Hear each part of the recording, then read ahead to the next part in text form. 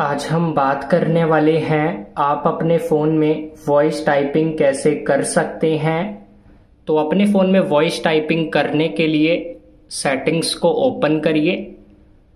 Phone की settings में आने के बाद नीचे आइए। नीचे आकर आपको मिलेगा एक ये वाला ऑप्शन लैंग्वेजेस एंड इनपुट इस पर आप क्लिक करिए। और ये ऑप्शन आपका मोर सेटिंग्स या फिर एडिशनल सेटिंग्स में हो सकता है। तो यहाँ पर आप चेक कर सकते हैं। लैंग्वेजेस एंड इनपुट या फिर लैंग्वेजेस एंड कीबोर्ड वाला ऑप्शन आपके फ़ोन में कहाँ पर है? तो इस पर क्लिक करेंगे। और जब आप इस पर क्लिक करेंगे तो नीचे आपको यहाँ पर मिलेगा डिफ़ॉल्ट इनपुट कीबोर्ड या फिर डिफ़ॉल्ट इनपुट मेथड इस वाले ऑप्शन पर क्लिक करिए। क्लिक करके यहाँ पर आपको मिलेगा जी बोर्ड अगर आपको जी बोर्ड नहीं मिलेगा तो आप गूगल प्ले स्टोर को ओपन करिए। ऊपर सर्च पे क्लिक करिए और सर्च करिए जी बोर्ड सर्च करने के बाद जी बोर्ड को यहाँ से इंस्टॉल करिए।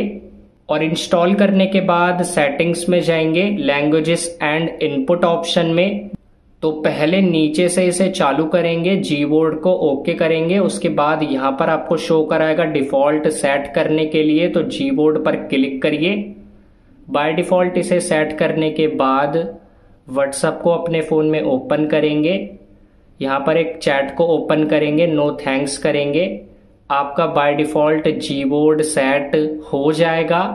उसके बाद आपको मिलेगा सेटिंग्स का ऑप्शन यहाँ पर सेटिंग्स पर क्लिक करिए।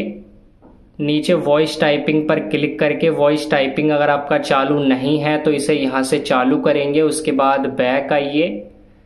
अब उसके बाद लैंग्वेजेस पर क्लिक करिए। अगर हिंदी में वॉइस टाइपिंग करेंगे तो ऐड कीबोर्ड पर क्लिक करके हिंदी को यहाँ से ऐड करके डन करेंगे।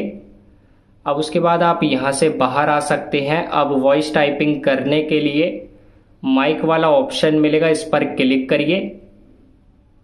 परमिशन को अलाउ करिए।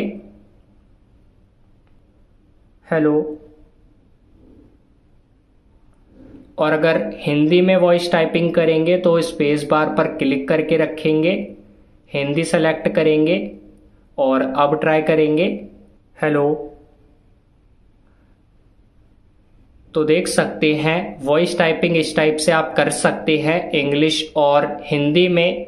किसी और लैंग्वेज में करेंगे तो कीबोर्ड में वो लैंग्वेज को ऐड करके कर सकते हैं। तो वीडियो पसंद आई वीडियो को लाइक करें, हमारे चैनल को सब्सक्राइब ज़रूर करें।